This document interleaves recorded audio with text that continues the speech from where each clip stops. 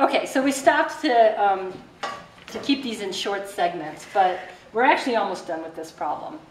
Uh, we've, we started with this first order circuit, and we have transformed the circuit from the perspective of the energy storage element into the Thevenin equivalent. Now that we've got the Thevenin equivalent where the voltage source is 4 volts, the resistance is 4 kilo ohms, we can just boom apply the solution. And the solution is going to be the simpler solution for the constant source. And so that looks like this.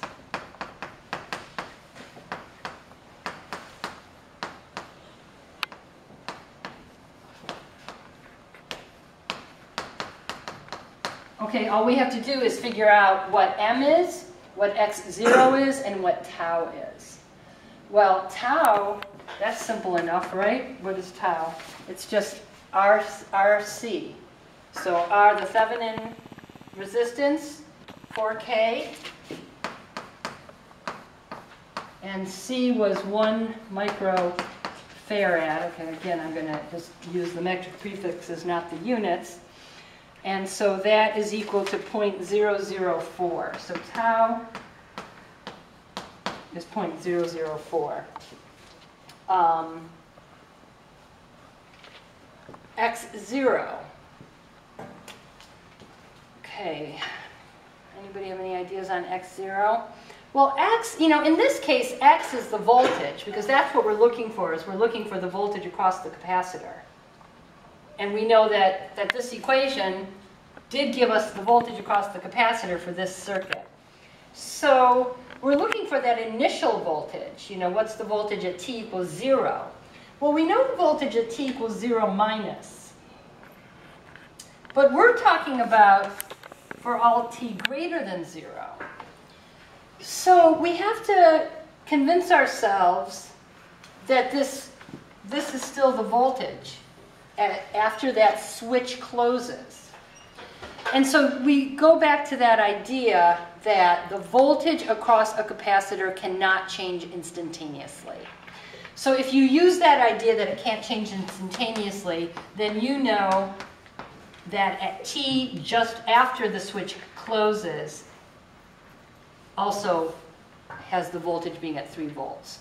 So so that's what this x0 is. It's 3 volts. So, so now I'm just plugging in the particulars of this problem. Oh, and what's m?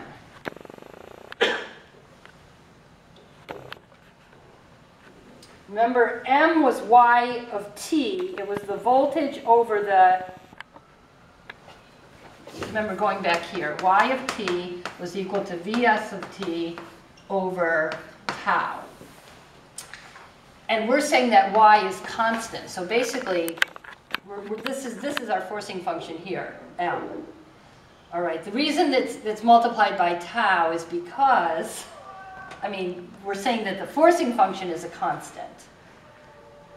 We called it m. So that was the m in this equation. It's not exactly the same as just our constant source of 4 volts. So you, you have to, so that, but anyway, it comes out here. So, um, all right, so, so what we've actually got, m is actually 4 over tau. And so then when you plug it into this equation, you, you do end up with just the 4 volts. So because the 4 over tau times tau just ends up being 4 volts plus, and then x0 we just said was 3 volts minus, okay, 4 volts times tau. I mean, well, it was the, the m was the 4 over tau. So anyway, this also ends up just being 4 volts. And then e to the minus t over 0.004. And so, let's see. So we've got 4 volts. 3 minus 4 is minus 1.